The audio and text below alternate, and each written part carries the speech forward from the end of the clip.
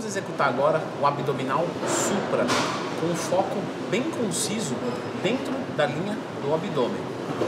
Vamos lá. Primeiro, é, você pode fazer 100% livre, você não precisa necessariamente de um apoio no pé. Então eu vou começar executando esse, tá? Supra no solo.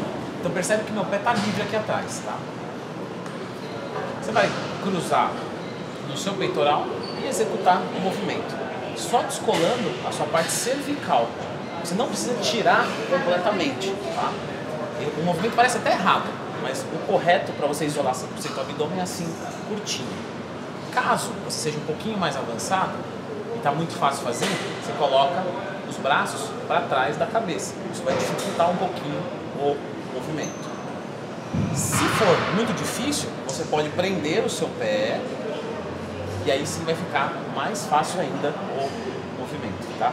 Todos esses daqui são movimentos muito válidos do abdominal supra. E se por um acaso você queira deixar mais difícil ainda, você pode adicionar manilha, segurando no seu peitoral, ou então, para que fique ainda mais difícil, uma manilha atrás da cabeça, executando o movimento. Aí vai ficar cada vez mais desafiador o exercício, depende da sua condição de força.